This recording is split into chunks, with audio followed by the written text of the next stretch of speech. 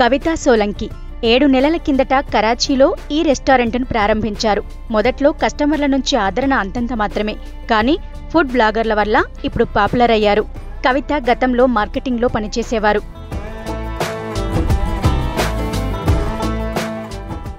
मैंने तकरीबन सात साल वॉचेस कंपनीज के साथ काम किया है and all of them were well known companies मैंने दो साल दुबई में भी एम्प्लॉयमेंट की है मगर कहते हैं ना अपना मुल्क अपना मुल्क होता है तो मेरे मुल्क ने मुझे वापस बुला लिया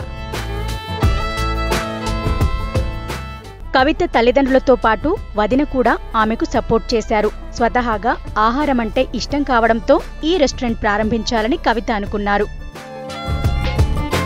मैं खुद एक बहुत फूडी इंसान हूँ रोज़ बाहर जाके चीज़ें नई नई चीज़ें ट्राई करना तो एक दिन बस ऐसे ही घर पे बैठे हुए ख्याल आया कि क्यों ना खाते तो हम रोज़ है तो आज खुद आ, बाहर जाके जो हम घर पे स्पेशली खाते हैं ज़्यादातर वीकेंड्स वगैरह पे तो वो चीज़ हम लोगों को क्यों ना ट्राई कराए तो बस ये इनिशिएट था जो मुझे आज आ, इस कार्ड पे ले आया తన రెస్టారెంట్లో పావు భాజీ వడా పావు వంటి భారతీయ వంటకాలను కవిత అమ్ముతున్నారు मतलब एक नई चीज़ है नई चीज़ ट्राई करने को मिल रही है।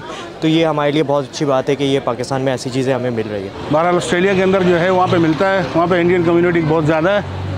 तो वहाँ पे मैंने टेस्ट किया था। लेकिन यहाँ पे जो मैंने टेस्ट किया उसके टेस्ट में इसके टेस्ट में ज़मीन आसमान का फ़र्क है।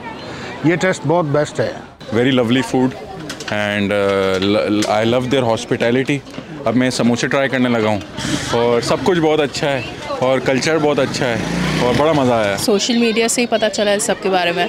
तो हमने भी कहा हम भी आके ट्राई कर लेते हैं। तो बहुत बहुत अच्छा टेस्ट है। इतना ज़्यादा स्पाइस भी नहीं माइल्ड भी है। बच्चे से लेके बड़ों तक हर कोई इंजॉय कर सकता है। Very very very tasty homemade है। This is the plus point in it. And everything is very clean and neat and tidy. So we thoroughly enjoyed very much. Karachi cantonment station కి సమీపంలోని ఈ వీధి ఇప్పుడు మహిళల ఫుడ్ స్టాల్స్ వీధిగా మారిపోయింది तो फिर मैंने अपना जो मेरा मोस्ट फेवरेट यहाँ का आइटम है सब लोगों का तवा कलेजी मैंने ये लगाया है क्योंकि सबको ये तवा कलेजी पसंद भी आता है और घर वालों को भी सबको पसंद है तो इसलिए ये मैंने अपना लगाना स्टार्ट किया ये मैं पार्ट टाइम जॉब कर रही हूँ बेसिकली मैं खुद स्टाफ हूँ फिर तकरीबन पंद्रह साल से जो है मैं प्राइवेट पेशेंट्स ही कर रही थी तो अब हमारे हालात कुछ इस तरह के हो गए कि एक जने से पूरा नहीं पड़ रहा मेरे बच्चे अभी पढ़ रहे हैं और हस्बैंड एक्सीडेंट की वजह से टांग कट गई तो मैं अकेली ही सरवाइव कर रही हूँ अपने बच्चों को लेके